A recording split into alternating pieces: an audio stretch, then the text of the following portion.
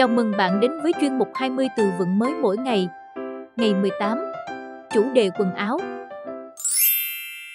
Đầm, dress. Dress. Dress. Áo cánh của phụ nữ, blouse. Blouse. Blouse. Quần tây, pants pants.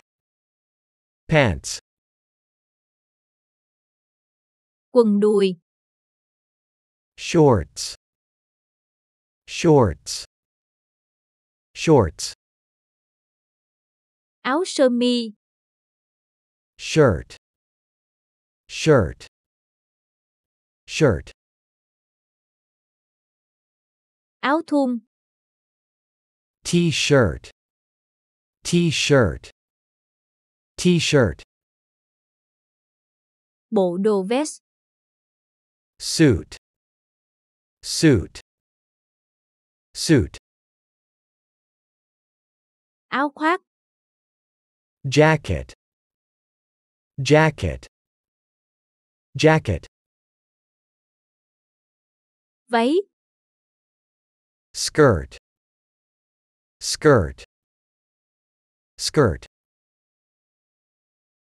mũ lưỡi trai, cap cap cap áo khoác len, cardigan cardigan cardigan áo len dài tay, sweater sweater sweater áo choàng tắm, bathrobe. Bathrobe. Bathrobe. Quần jean, jeans. Jeans. Jeans. Đầm ngủ, night dress. Night dress. Night dress. Khăn quàng cổ, scarf. Scarf. Scarf. Giày, shoe. Shoe. Shoe.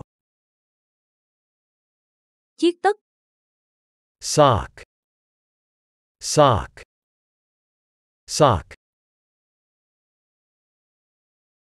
Cái mũ, hat hat hat